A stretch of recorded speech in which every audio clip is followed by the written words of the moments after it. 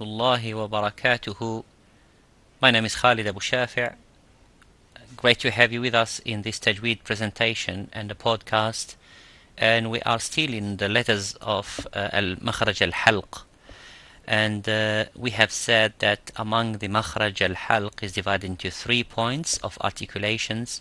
Uh, number one, the uh, Adna Al-Halq, uh, which is close to the mouth and aqsa al-halq and that is uh, the farthest distance from the mouth.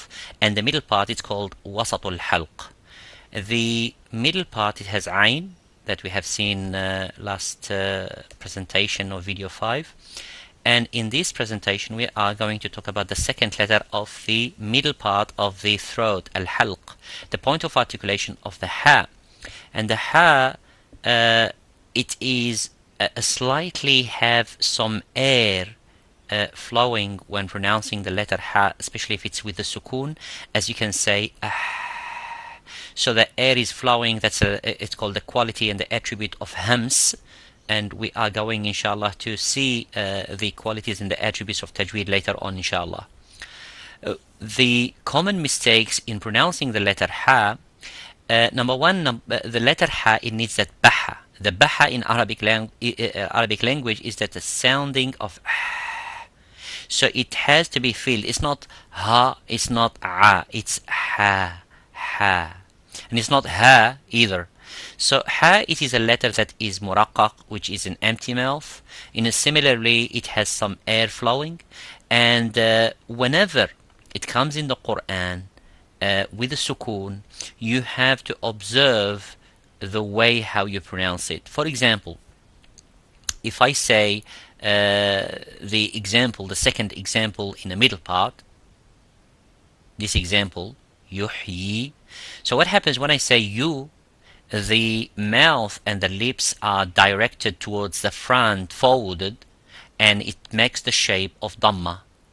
Now, the common mistake is not to bring it back. So what happens? You say you yuhyi and you say the ha with the sukoon while the lips are forwarded which is wrong so what happens you say the you the the, the ya with the dhamma you and then it's in the same time you bring it back into the position of the sukoon as you say ah without making that uh, forward of the dhamma so the shape of the dhamma has to disappear when saying the ha similarly al-muhsinin so it has dhamma al-muhsinin يحيي فأحياكم Ar-Rahman. And, uh, and the common also mistake when saying Bismillah ar-Rahman ar-Rahim. So say Bismillah ar-Rahman ar-Rahim. Bismillah ar-Rah. Ar-Rah. Slightly have that flowing of the air, it's called al-Hams, to be given time. This is according to the speed of reading, of course. I'm not saying to, to pause, but to give slightly that air uh, and time in pronouncing the letter ha. Uh, Bismillahir Rahmanir Rahim. And also the last example, uhshuru. Similarly, when you say u, uh, and uh, by saying u, the ha will be in a position of the dhamma. So you have to be careful. Bring your lips back into the sukoon as you say ah instead of uh. Uhshuru الذين and so on. So in this presentation, it's the letter Ghain, as I have said at the beginning of the, uh, in this presentation, number six, I have said that we have seen Ghain and Kha. Actually, we haven't seen Ghain and Kha. We have seen Ain and we have seen the Hamza and the Ha. But Ghain and Kha, we're going to see them inshallah in this presentation. So the letter Ghain, it's a letter that is Mufakham. Mufakham means full mouth, a little bit heavy, slightly heavy. So it is not like the Ha the ha and the ain are empty mouth. The hamza is empty mouth. The ha is empty mouth. The ghain and the kha are full mouth. So you say kha, gha. You don't say gha, and you don't say kha. So if your name is Khalid, you would say kha, and you don't say Khalid. Khalid. Alright? So when we have the letter ghain, uh, just to be careful if it has a sukoon not to make the qalqala. That's number one. And the second, not to make the ghunna and the third not to make change it into another letter such as qaf. So for example, if I have, uh, when I read Surah Al-Fatiha, in this example, غير المغضوب so what happened the common mistakes is uh, uh, uh people make qalqala so we say غير المغضوب غير المغضوب and that is wrong. And the quality and the attribute of the ghain is to spend slightly the time in the sound. By spending slightly the sound the qalqala will disappear. Just understand this. The letters of qalqala are five. We're going to see them inshallah. So I say uh, letters collected in five uh, characters, five letters in Arabic language. قطب جد قاف طا با جيم دال. Every time they come with the sukun in the middle of the word or the end of the word, they sounding like an echoing. So that echoing exists in these letters of uh, قاف طا با جيم دال.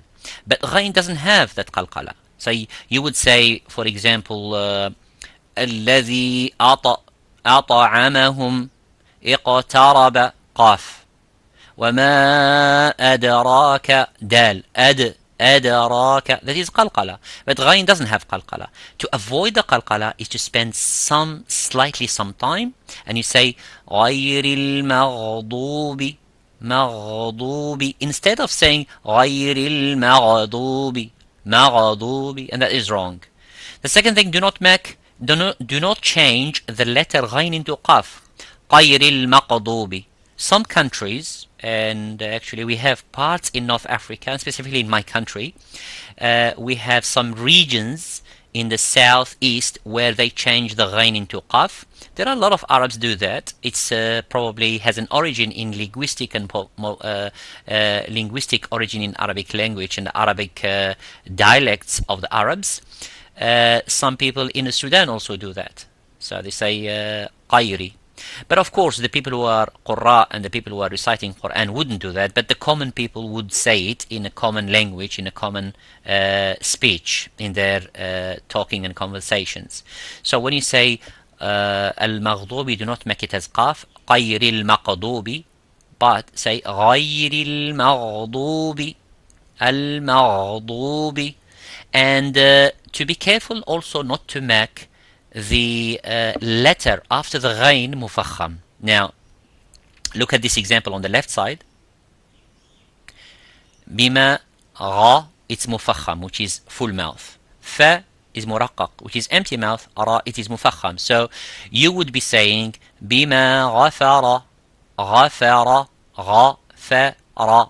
Instead of saying ghafa, ghafara, bima ghafara, غفر لي ربي بما غفر لي ربي and not to make it all ترقيق بما غفر لي غفر that is wrong uh, also so sometimes the, the, the, the, the full mouth letter can drag some of the letters which, which are neighbors next to it and drag it into the same state of uh, attribute and the other thing to have a look at the front at the beginning the first one the dua in Surah Al Imran, رَبَّنَا لَا تُزِغْ قُلُوبَنَا Do not make idgham there. So do not join them as one letter.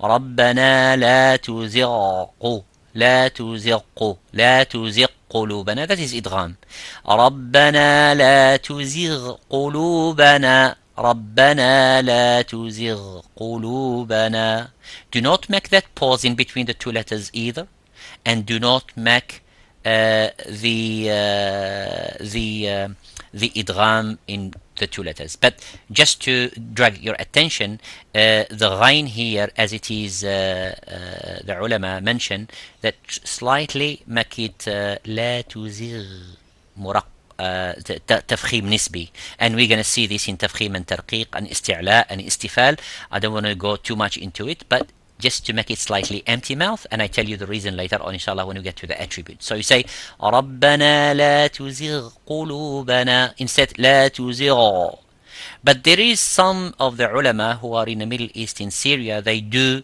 make and this is has a little bit of details which I'm going to talk later on about the five different details and three different details about tafkhim and tarqiq in some of the letters they call tafkhim nisbi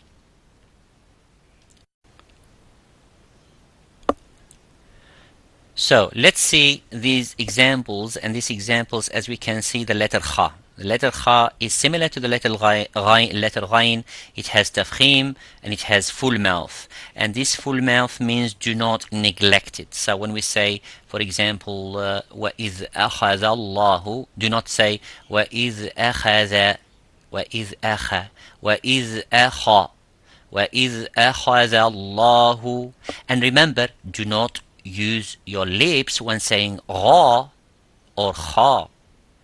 Lips nothing to do. This is the makhraj. The point of articulation is the throat it's not the lips. You find some people try to make it sound like real kha by saying kha. And they put their lips and their mouth forward to pronounce kha but there's nothing such thing. All you do open your mouth slightly up vertically and make that sounding normal as you say kha instead of kho kho by putting your lips forward it's kha gha وإذ أخذ الله Similarly, اتخذوا This example ات اتخذ So you don't say itta اتخذوا And also Imam al-Jazari mentioned this example مخمصة مخمصة instead of مخمة مخمة so the meme muraqqaq meme is empty mouth another meme is an empty mouth and kha is in between a full mouth مخمصة similarly the sad also is a full mouth